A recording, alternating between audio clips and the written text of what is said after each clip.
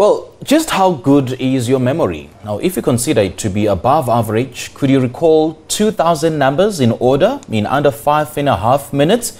Well, this is exactly what Bedfordview based mentalist and memory expert Michael Abrahamson did on International Pi Day on Monday, breaking his own world record by rattling off the first 2,000 digits of pi in a remarkable time of 5 minutes and 12 seconds.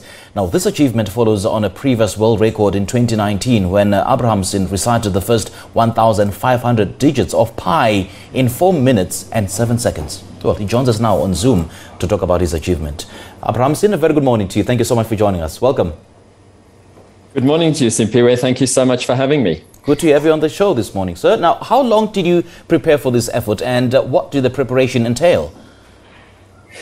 Well, it started off about 2018 when I broke my previous record, and that took quite a bit of effort. But since then, uh, because of COVID, I've had to put it off every single year. And I've had to wait till a year on the 14th of March, which is World Official Pi Day, to find a time when I could actually do it. So this year was the first opportunity to do that. And the nice thing about it was that uh, I put it on hold, but I still had the digits somewhere in my mind. So I had to now, in the last sort of month or so, recap it, revise it. It was a lot of revision. I would record myself doing it, try and get the speed faster, and uh, just practice every single day as much as I could when I was driving in a car or when I was lying in bed about to fall asleep, just going through the figures in my mind. But it's one thing doing it in practice and another thing doing it when the world record is at stake. So it was quite a, a mental effort, so to speak. Oh, Michael, just how confident were you of breaking the world record?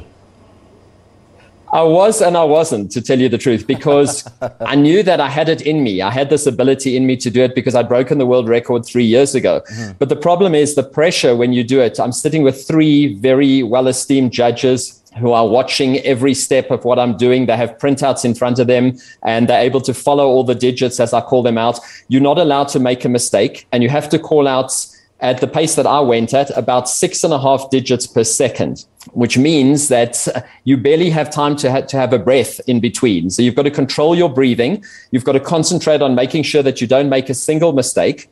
And also you've got to call all these digits out correctly and be audible enough that people can hear what you're saying because it does go to an official ratified Pi judging committee, and they have to listen back and re- play the video back that I recorded for them and make sure that I've said every single digit, and then I get officially ratified as having the world record. So it's stressful. Uh, I was fairly confident that I could do it, but on the day itself, I was very nervous and I had doubts. Yeah. I mean, is this ability something that you have had to learn, or is it a gift that you are blessed with? Simpiwe, I think a bit of both. I think uh, I was probably given some sort of talent to be able to remember information. Uh-huh. But over the past number of years 25 years i've been running memory courses for students at schools and universities. I've been to over 60 schools in the country. I commentated for the sabc uh, on the world cup 2010 and for that tournament i had to remember the names of every single player in every team and all their background information. And then i went on the afrikaans music game show Noot vir Noot, also on sabc three years ago. And i had to learn lyrics of every song that uh, that was on their database and try and memorize those lyrics in about a week or so. So I use these skills in my in my day to day life. So I've definitely developed them to an extent where I can use them when I need them. But I think there was some sort of ability to begin with as well that I've just mm. honed over the years. Mm. And just how draining was it? And would you attempt it again?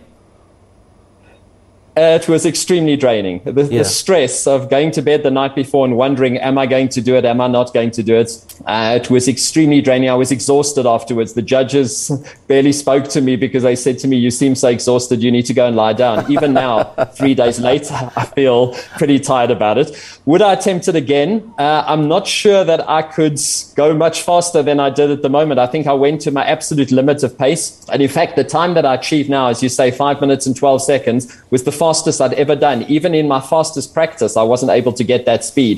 So I'm not sure how much faster I can go.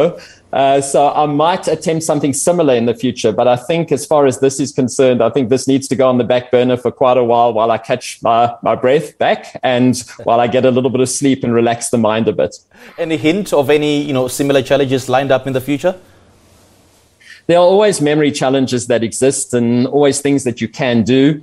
Like for example i'm a professional mentalist as you mentioned. So in my shows i memorize a shuffled pack of cards in 15 seconds. I get someone to take a pack of playing cards they mix it up they shuffle it and then i have 15 seconds to go through it and try and remember the order of every single card. So that's something i want to try and develop and get even faster with um, are other skills, obviously, trying to remember as much information as I can. I did learn a few years ago the names and capitals and flags of every country in the world and where it's located on the world map. It took me 11 minutes to do that. So there are various things that I want to try and improve and learn on and learn and develop my mind to another extent. But I think as far as I'm concerned now, with this pi challenge, it was demanding enough and it needs to go on the back burner for a while. Ah, Michael, lovely chatting to you, man. Thank you so much for joining Thank us. And just so a much. quick one um, lotto numbers. I know that uh, so many people are quite interested to know whether you'd be able to juggle, you know, the lotto numbers because they are largely dependent on, you know, probability. Exactly. And I've, I've actually got a background in probability because I teach statistics at university and I teach statistics also to varsity students. I've got an honors degree in statistics. Mm-hmm. But the, the thing is, the reason that I can't predict the lotto numbers is not because of any failings of myself, but because of the way the system works. Because it's a machine generating the numbers, uh, it's completely random. If it was a person or people who had to say a number between 1 and 49 and just come up with their own digits, then I could probably read the people and get a sense of what numbers they're likely to go for. But because it's done with a machine and it's completely random, uh, it's up to the machine to pull out numbers. So just advice for people who do play the lotto. There is no such thing as hot numbers and cold numbers and looking at patterns of numbers in previous weeks. Every time the draw gets conducted, it's a completely random event. So even if a number's come up five, uh, five uh, lotto draws in a row, it could still come up again. And numbers that haven't come up for a while, there's no guarantee that they will start coming up now. So my advice to you is play for fun, play only the money that you can afford. And if you do manage to win something, fantastic, but don't bank on it. Yeah, it's all about probability and a bit of luck, you say. All right, Mike, lovely chatting to you. Thank you so much for joining us. Thank you so much, Simpiwe. All right, that was a mentalist and memory expert, Michael Abrahamson, chatting to us about his record breaking feat on Monday.